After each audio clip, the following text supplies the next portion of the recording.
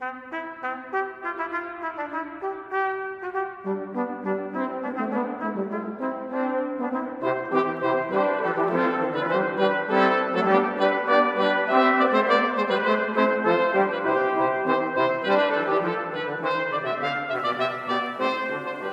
quel tempo Gesù disse, Io sono il buon pastore.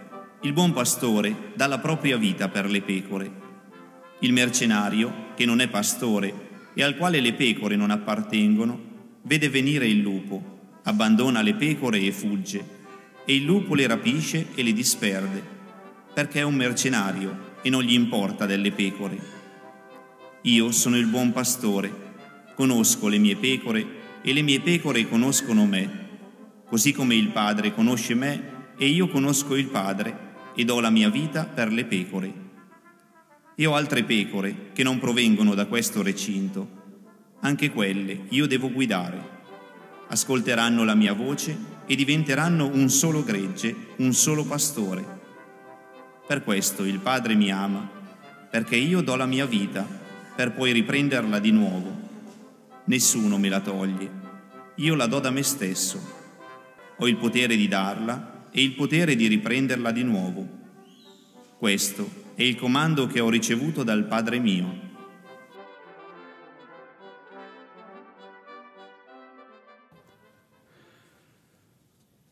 La liturgia ci porta all'interno del discorso del buon pastore, al capitolo 10 del Vangelo di Giovanni. Qui Gesù sviluppa in modo particolare la metafora del buon pastore, applicandola alla propria missione di inviato dal Padre per dare la vita al mondo e raccogliere tutti i figli di Dio dispersi nell'unità di un solo gregge e sotto un solo pastore. La caratteristica peculiare del buon pastore è che egli dà la vita per le sue pecore, a differenza del mercenario che le utilizza per i propri scopi egoistici. Alla prova dei fatti, la totale opposizione tra buon pastore e mercenario si comprende davanti al rischio e al pericolo. Il pastore non teme di dare la propria vita perché nessuno dei suoi venga perduto. Il mercenario invece fugge per salvarsi la vita. Il dono della vita da parte del buon pastore è la piena manifestazione di quell'amore che lo unisce alle sue pecorelle, frutto della conoscenza reciproca. Il verbo conoscere ha qui un'accezione molto forte, indica condivisione di vita e appartenenza reciproca.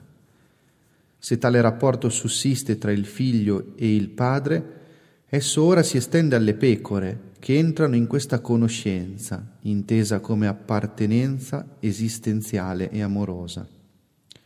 Tutto procede dunque per comando del Padre, in virtù del quale il Figlio dona la propria vita e la riprende, allusione alla morte di Gesù e alla sua risurrezione. Non è un gioco, ma la piena rivelazione di una potenza d'amore in grado di vincere il tradimento, l'odio, la violenza e la morte.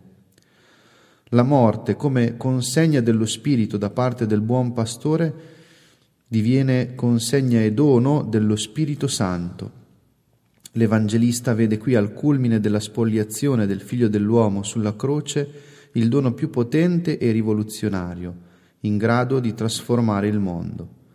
Si tratta dello Spirito Santo, ossia dell'amore che unisce il Padre e il Figlio e muove il Figlio, quale buon pastore, a donare la sua vita per le sue pecorelle.